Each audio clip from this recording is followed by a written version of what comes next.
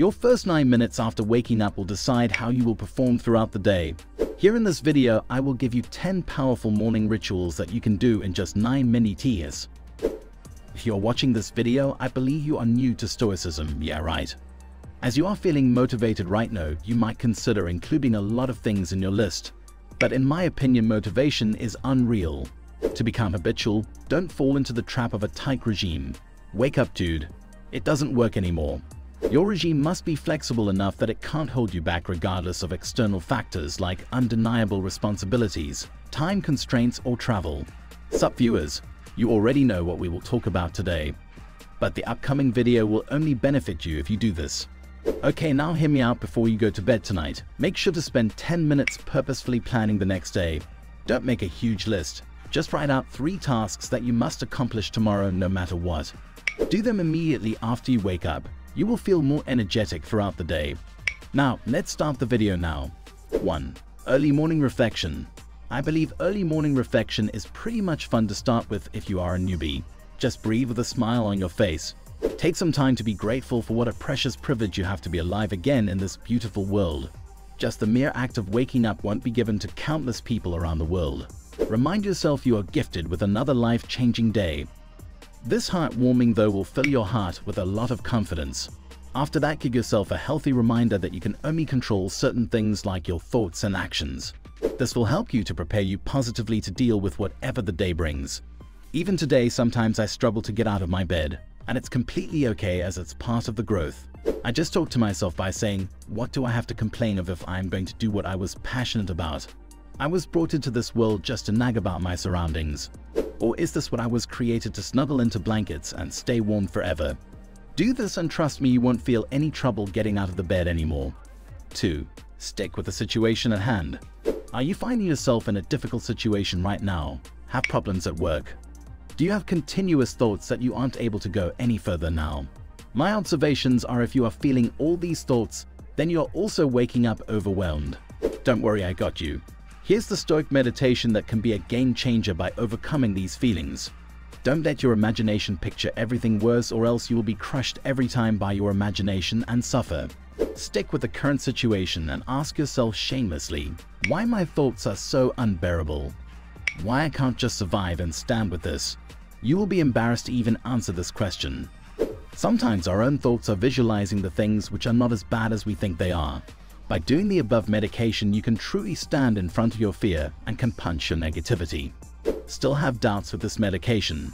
Pause this video and do this right now. I believe you have your answer right now. Come on now like this video. 3. Negative Visualization Another name of this morning exercise is premeditation of adversity. Negative visualization might seem contrary to previous suggested exercise, Listen to this exercise and you will be amazed to see how beautifully it pairs with each other. You can think of any super big meeting you have with your team or potential client today and all of the things that can possibly go wrong. Or you can imagine if you are having a test coming up and what if you fail? The classic choice is to imagine what could happen if you lose basic senses like hearing, smelling, or sight. You might be questioning yourself, what the hell? What's this guy even talking about?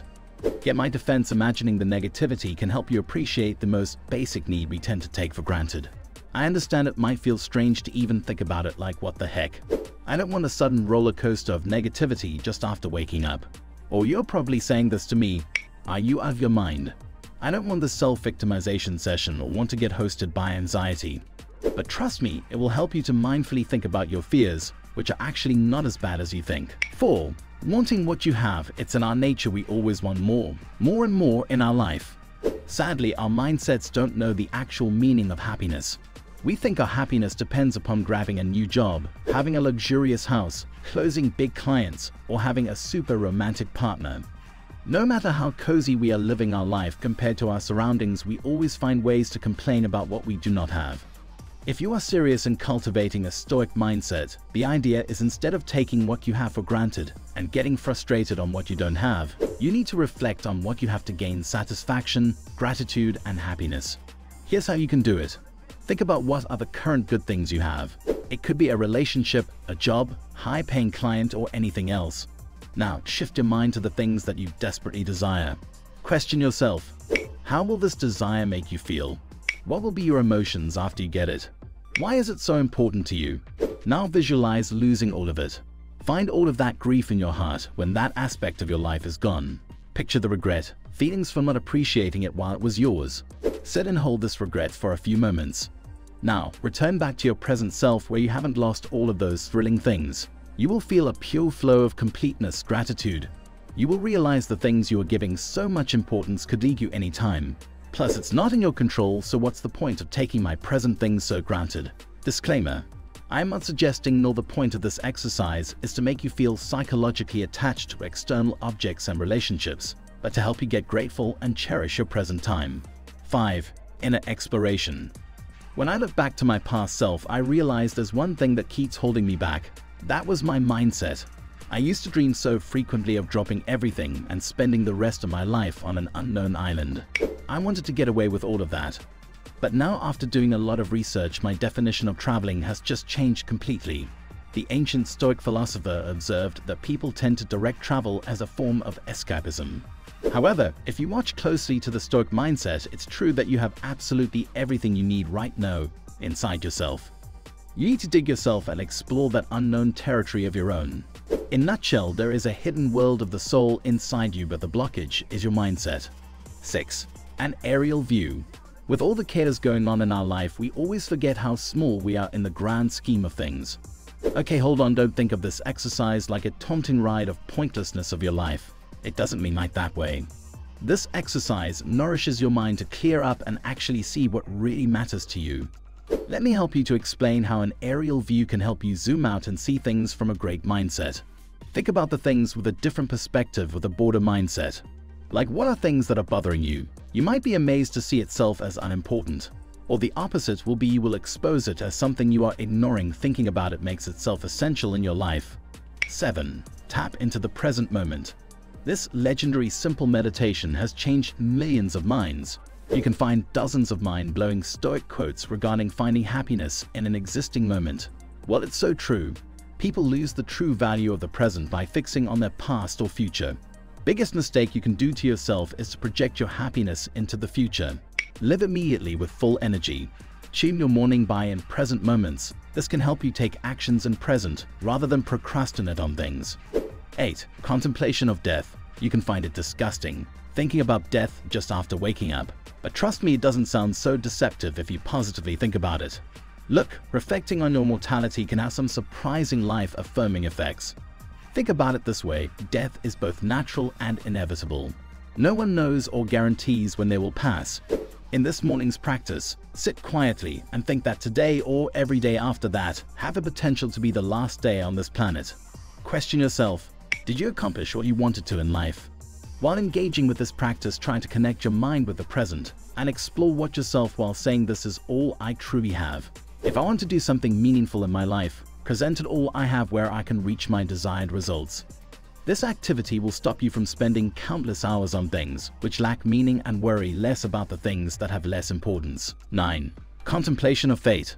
Let's think about something that so awful happened in your life, something that still makes you feel dreadful, or what about something great that you desperately want but never happened in your life?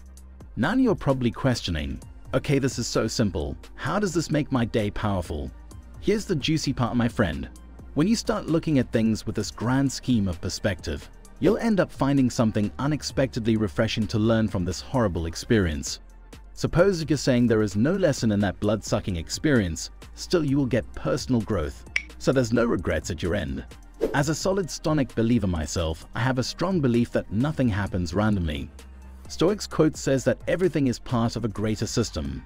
10. Contemplation of the Sage There is hardly anyone in the world who does not want to live a virtuous life, but mostly people overcomplicate it.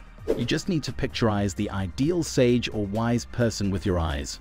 What do you think the qualities a wise man should hold? What's your opinion on how a sage man needs to act in different circumstances, and how would they spend their time?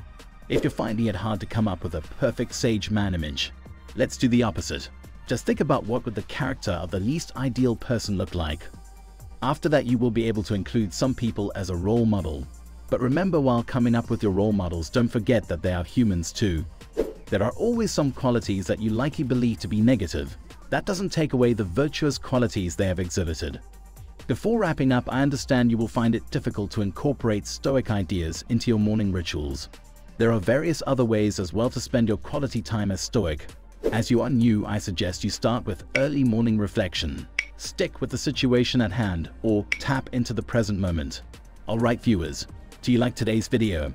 If yes, do like and share this video in your circle as well. Consider subscribing to this channel. I will catch you up out of my eye for sure.